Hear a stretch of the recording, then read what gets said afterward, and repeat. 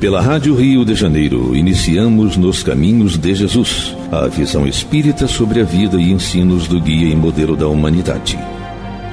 Produção e apresentação, Paulo Guedes.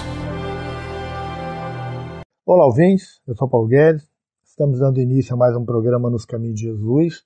Hoje vamos falar sobre a passagem do Evangelho de Mateus, que está no capítulo 20, versículos 17 a 19 que é a terceira predição do sofrimento de Jesus, né? a terceira predição dele da, de tudo que ele ia passar, né? inclusive a crucificação. E essa passagem ela diz o seguinte: Estando Jesus para subir a Jerusalém, chamou à parte os doze e em caminho lhes disse: Eis que subindo para Jerusalém, e o filho do homem será entregue aos principais sacerdotes e aos escribas.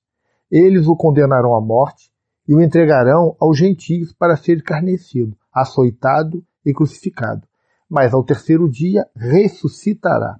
Então, aqui mais uma, mais uma vez, né, Jesus falando aos seus discípulos do, da questão de ser entregue, né, de ser escarnecido, ser açoitado, crucificado, e que seria ao terceiro dia ressuscitaria. Né? Então, ressurgirá, né? O terceiro dia ressurgirá, que ele voltaria. Então, estamos aqui mais um mais uma passagem que Jesus começa a fazer a predição, né? Avisando que o que iria acontecer, né?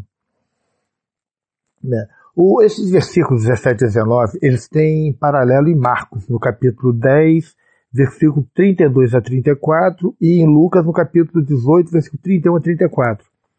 É, nessa breve sessão, a, a, fonte é, informativa né, parece ser mesmo o próprio Mateus, que é o que tem uma tinha como conhecimento né, por, por estar ali pessoalmente e ser um, um testemunha ocular de tudo. Né? É, vamos lá, gente. O, essa foi a terceira advertência feita por Jesus aos discípulos, de que aquela seria a sua última viagem a Jerusalém. Que a gente sabe, né, ali ele seria crucificado. E a gente vai, vamos, vamos só para a gente lembrar aqui, as outras predições encontram-se em Mateus, no capítulo 16, versículo 21, e no capítulo 17, versículo 22. É, essas predições foram introduzidas no texto como solenes badaladas de um grande sino que avisa, né, tristemente, a condenação próxima. Jesus estava já preparando eles para tudo. Né?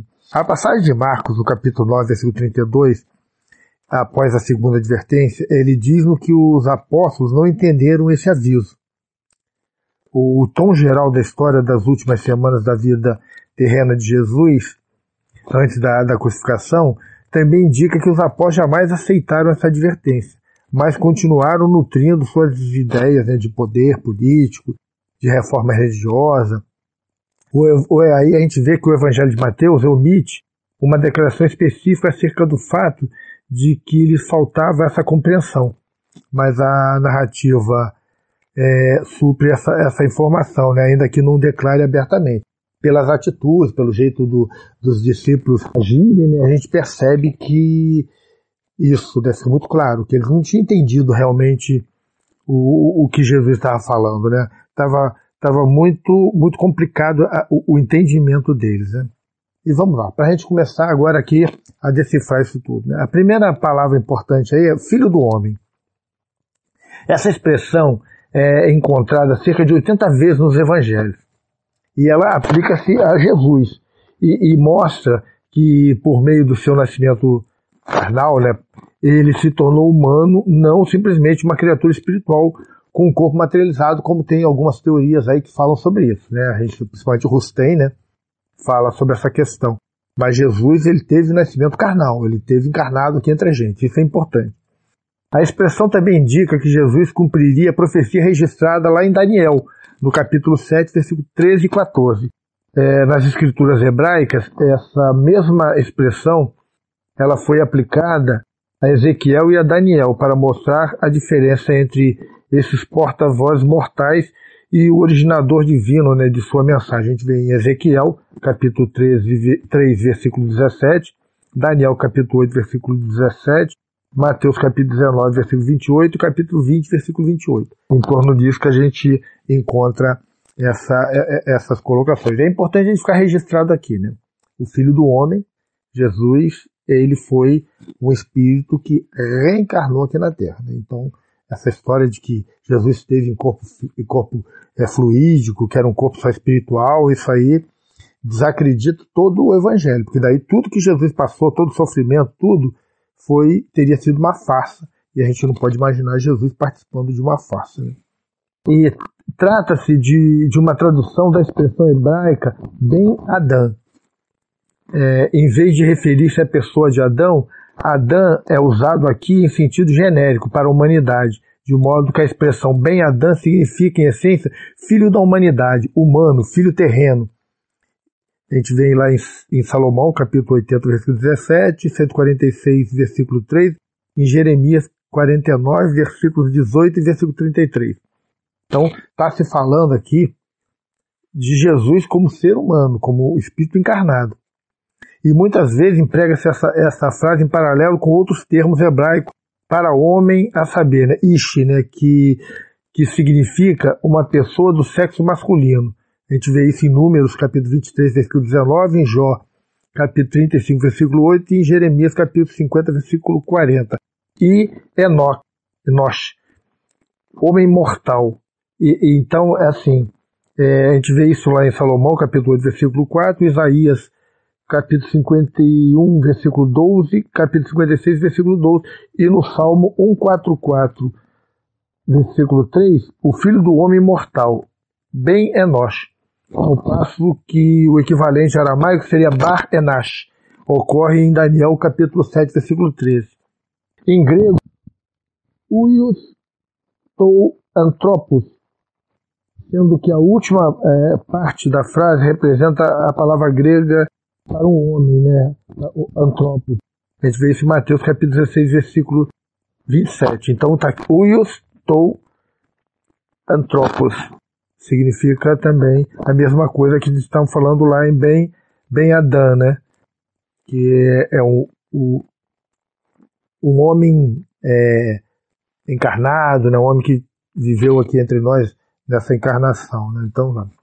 Os escribas e, os fariseus e os principais sacerdotes foram os principais grupos pelo planejamento da execução de Jesus e pela sua crucificação em Jerusalém é, haviam enviado, né, a gente não pode esquecer, espiões que seguissem a Jesus pela Galileia, a fim de recolherem provas que pudessem ser apresentadas contra ele ante as multidões. Estavam buscando aí, tentando pegar Jesus em alguma coisa errada para poderem usar isso para tentar eliminar Jesus, né?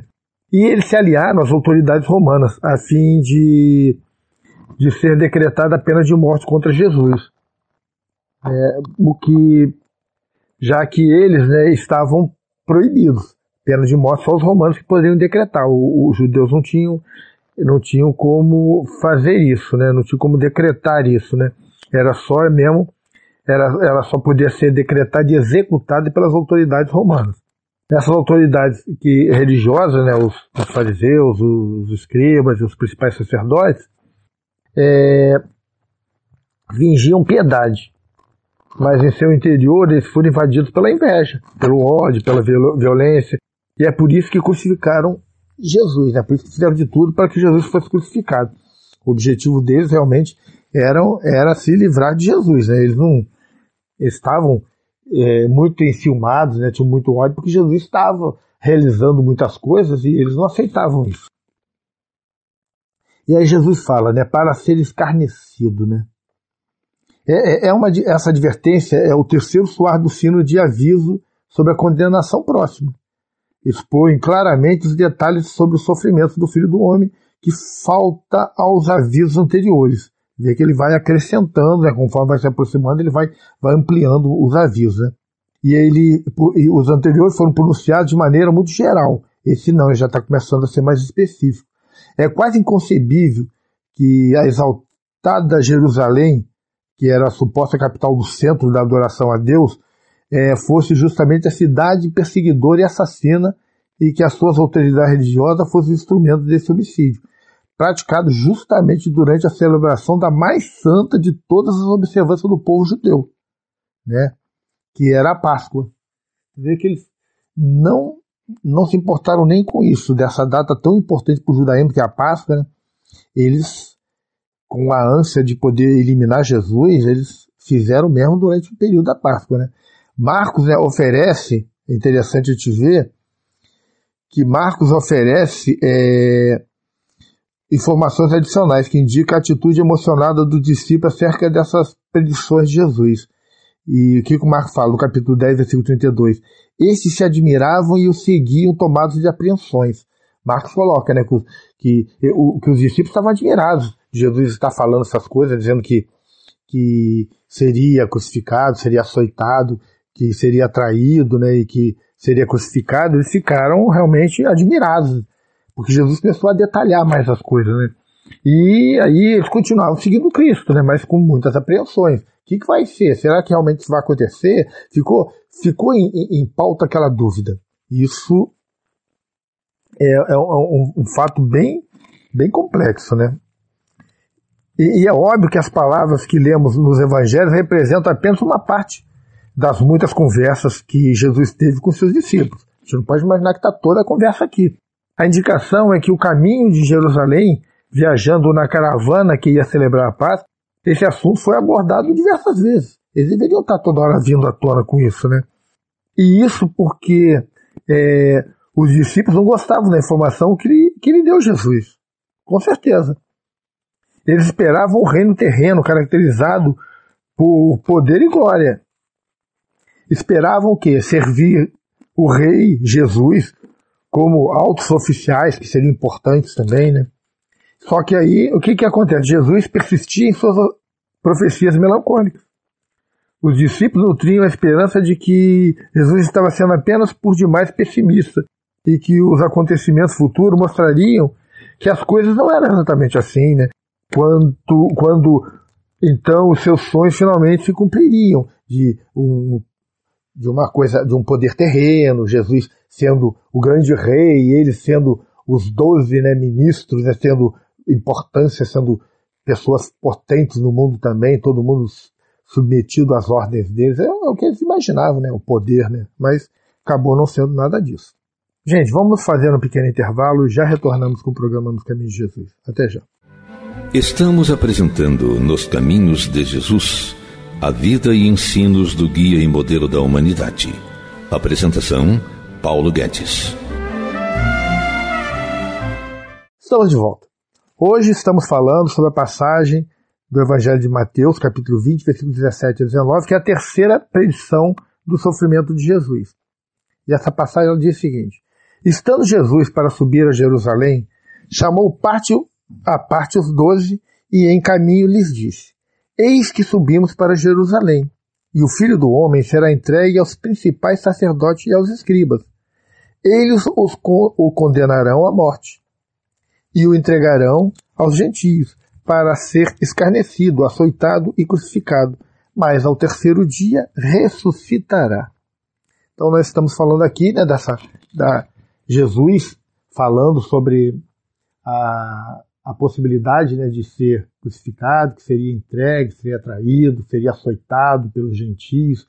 Ele começou, nas outras duas predições, Jesus não chegou a tanto detalhe, agora ele começa a esmiuçar mais a questão e os, os discípulos estavam realmente é, muito, muito é, assim, apreensivos, né? Porque aquelas predições, no entanto, haviam lançado uma nuvem de tristeza em seus pensamentos. Eles estavam apreensivos, talvez sentindo intuitivamente que sua compreensão não era grande sobre esse particular. E aí Lucas, no capítulo 18, versículo 34, fala assim: Eles, porém, nada compreenderam acerca dessas coisas. E o sentido dessas palavras era-lhes encoberto de sorte que não percebiam o que ele dizia. Lucas já detalha um pouco mais essa parte. O pior que sucedeu aos discípulos foi o abatimento da melancolia e o senso de uma apreensão crescente. Estavam ficando cada vez mais apreensivos. O que, que vai acontecer? Jesus está dizendo que, que estava se aproximando o momento dele ser traído, entregue né, aos sacerdotes, aos escribas, aos fariseus. que ele seria escarnecido, que seria açoitado e seria é, crucificado, mas ele ainda dá um alento fizeram que ao terceiro dia ele voltaria, mas nem isso servia de alento para ele, né? E aí vamos lá, ao terceiro dia é, é, ressurgirá. E aí essas palavras certamente teriam passado inteiramente despercebidas para os apóstolos, porque eles acabaram fixando só na questão da crucificação, de tudo isso, né? Pois esse nome deve, deve ter né, parecido inteiramente impossível, por não haver nenhum precedente histórico no qual pudesse afirmar de, de, de alguém morrer e ao terceiro dia voltar. Jesus estava afeito a falar em parábolas e símbolos, né? eles sabiam disso. E, e aí eles pensavam que era possível que Jesus tenha interpretado essa predição apenas como outro exemplo de uma declaração difícil de ser entendida, que isso realmente não fosse acontecer, foi só uma parábola, né? que, não, não, ele realmente não, não morreria, que essa história toda não passaria mais uma, de uma de suas parábolas, mais um dos seus é, dos seus contos, né, para para passar alguma alguma mensagem, algum ensinamento, né? Eles ficavam, né? Porque realmente era difícil de entender para eles, né? Porque eles estavam pensando num poder, no to... e porque quando a gente fala no, no Messias judaico, era o Messias que viria tomar o poder do mundo. A visão deles era essa, e Jesus nitidamente não mostra nada disso. Né? E aí, seguindo, a gente vai ver que o pedido da mãe de Tiago e João, que seus filhos ocupassem cargos privilegiados como governantes no reino de Jesus, gente, é uma cena que vem logo em seguida, tá? Na semana que vem nós já vamos estar estudando ela. E o fato de que esses homens ou impeliram sua, a, a sua mãe, né, nesse pedido, ou pelo menos não desaprovar a sua petição, mostra que não estavam muito preocupados com o fim do ministério de Jesus. O que ocorreria dentro de poucos dias. E também, gente, que não se mostravam compreensíveis e simpáticos para com os sentimentos de Jesus naquele seu momento de severíssima provação. Eles deixa só nessa questão de da mãe de Salomé, né, a mãe de, de, de João e Tiago, vir pedir isso, e Jesus está avisando que seria, seria morto. E dá claro, deixa bem claro que os, os discípulos não tinham entendido realmente o que Jesus estava falando. Estava longe deles entenderem. E aí vamos lá. Jesus fala que ao terceiro dia ressurgiria, né? O dia dos hebreus começa à noitinha, após o pôr do sol e terminava no dia seguinte, ao pôr do sol. O dia, portanto, ia de noitinha a noitinha.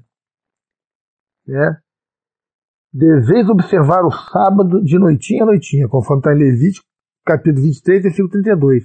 Isto segue, gente, o padrão dos dias criativos de Deus, conforme indicado em Gênesis, capítulo 1, versículo 5. Veio a ser noitinha e veio a ser manhã, primeiro dia. Né? A gente vê que que é assim, né? E também a gente pode dar uma olhada em Daniel, no capítulo 8, versículo 14, que vamos também ver o, é, esse tipo de, de colocação referente ao dia. Os hebreus não eram os únicos a contar o dia de noitinha a noitinha. Os fenícios também, os númidas, os atenienses o faziam. É o mesmo tipo de, de, de contagem. Os babilônios, por outro lado, contavam o dia do nascer do sol ao nascer do sol. E aí tem os egípcios e os romanos, que contavam de meia-noite a meia-noite conforme é comum na nossa, na nossa maneira de contar. Então a gente tem três tipos de coisa aqui, né? Os hebreus, que eram de noitinha a noitinha, aqui junto com os fenícios, né? os númidas e os atenienses, e temos os babilônios, que contavam do, do, do nascer do sol nascer do sol, e temos os egípcios e romanos, que tinham a, a, maneira igual a nossa, né? de contar, de meia-noite a meia-noite. Né? Então vamos lá. O dia dos hebreus começava à noitinha após, após o pôr do sol. Né? A, gente, a gente já viu isso, né? Então é, um, é, é, é, é o dia né, que, que tinha importância para eles. Né? E aí a gente vai olhando, falando questão do terceiro dia. Ao terceiro dia. Né? Há casos em que os hebreus usavam dia e noite para referir-se apenas a uma parte de um dia, solar de 24 horas. Por exemplo, 1 Reis, no capítulo 12, versículo 5 e versículo 12. Fala de Roboão pedir a Jeroboão e, e aos israelitas que fossem embora por três dias e então re, retornassem a ele. Que Roboão não se referia a três dias completos de 24 horas, mas sim a parte de três dias. Pode depender do fato de que o povo retornou a ele no terceiro dia. E aí, Mateus, no capítulo 12, versículo 40, o mesmo sentido é, é conferido aos três dias e três noites da permanência de Jesus no Seol. Conforme mostra o registro, ele foi levado à vida no terceiro dia. Os sacerdotes judaicos entendiam claramente que este era o sentido das palavras de Jesus, visto que no seu esforço de impedir a sua ressurreição, é, citaram Jesus como tendo dito: Depois de três dias eu hei de ser levantado. E em seguida pediram a Pilatos que desse ordem que o sepulcro fosse feito seguro até o terceiro dia. A gente vê isso em Mateus, no capítulo 27, versículo 62 a 66, e no capítulo 28, versículo de 1 a 6. E a gente pode ver também em Gênesis, no capítulo 42, versículo 17 e 18, e Esther, capítulo 4, versículo 16, capítulo 5, versículo 1. Então, quando a gente fala na, na, na questão da ressurreição de Jesus, né, é só lembrar assim, Jesus foi crucificado. E a gente fala assim, ah, sexta-feira da paixão. Sábado, sábado de aleluia, Jesus se levanta. E sexta para sábado, se contarmos sexta um dia, sábado seria dois. Mas não é assim. Não é assim. A gente pensa o seguinte: é, prenderam Jesus na madrugada de quinta para sexta. É, já era, no nosso calendário já seria na sexta. Só que para eles, o dia só começava, é, é, era de noitinha a noitinha, né? Não era isso? Então vamos lá. Prenderam então primeiro dia, de quinta para sexta. Jesus foi preso. E aí, sexta para sábado, de sexta à noitinha para sábado à noitinha, segundo dia. Depois de anoitecer, depois, depois de anoitecer no sábado à noite, já é o terceiro dia. E aí, no sábado, antes de virar domingo, Jesus ressuscita. Não entenderam? De noitinha de quinta à noitinha de sexta, um dia. De noitinha de sexta à noitinha de sábado, dois dias. De noitinha de sábado à noitinha de domingo, terceiro dia. Jesus, ele, ele, ele ressurge na noitinha de sábado para domingo. Então foi lá naquele dia, ainda era sábado no nosso calendário. Jesus é, ele reaparece. Então a gente observa claramente aí que está se falando de uma maneira de, de, medir diferente. Então é ao terceiro dia, né, e não depois de três dias. Depois de três dias seriam três dias e 24 horas. Mas não, ao terceiro dia. O primeiro dia foi o dia que ele foi preso, segundo dia. Isso tudo, o primeiro e o segundo dia, acontecem na, próxima, na própria sexta.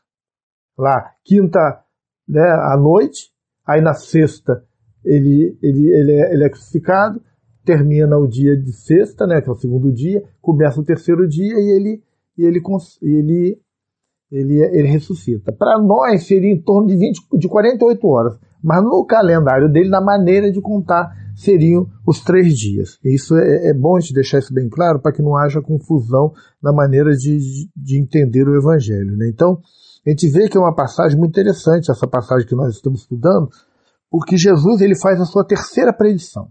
E a terceira e derradeira, é a última predição.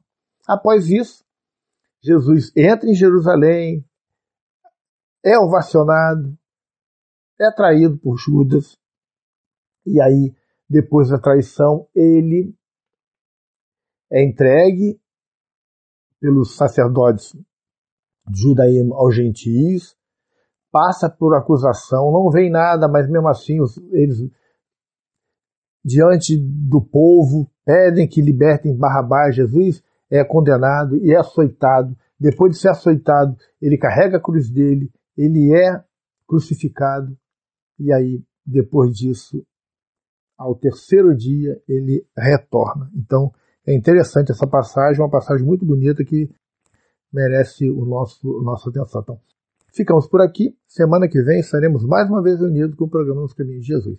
Até lá, se Deus quiser. A Rádio Rio de Janeiro apresentou Nos Caminhos de Jesus, a visão espírita sobre o guia e modelo da humanidade Produção e apresentação: Paulo Guedes.